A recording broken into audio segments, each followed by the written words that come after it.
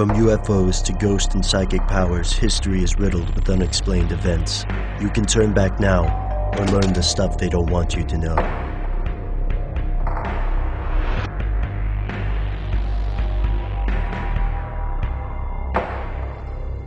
Here are the facts. Look at the sky over any modern city. Chances are you'll see line shaped clouds mixed with the normal cloud cover. These are called contrails. When jets fly through the air, they leave trails of water vapor in their wake. This vapor dissipates a few minutes after the jet passes. The government claims these clouds are a harmless result of engine exhaust.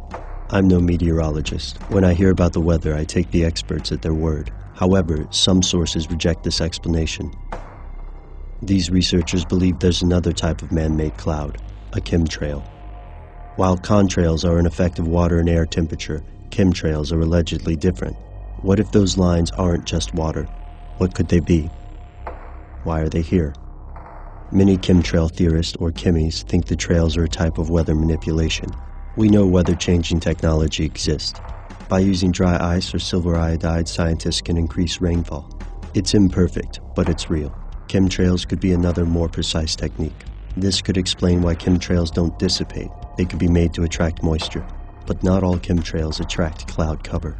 Some just linger like strokes of paint across the sky. Because not all chemtrails attract moisture, many chemies think those strange striped shaped clouds have a different purpose. Why control the weather if you can control the people? Here's where it gets crazy. Some researchers believe chemtrails are a kind of mind control. According to this theory, the chemicals spread through chemtrails wear down the immune system and force the victim's mind to function at a lower level.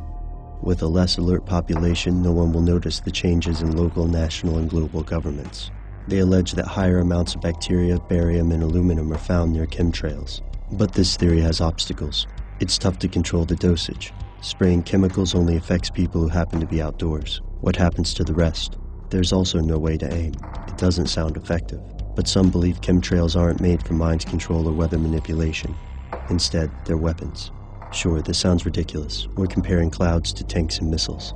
But the US does conduct atmospheric research and has extensive experimental facilities. Consider HAARP in Alaska.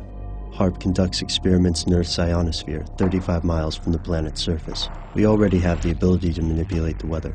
Some theorists think our government can also create earthquakes and manipulate electromagnetic fields.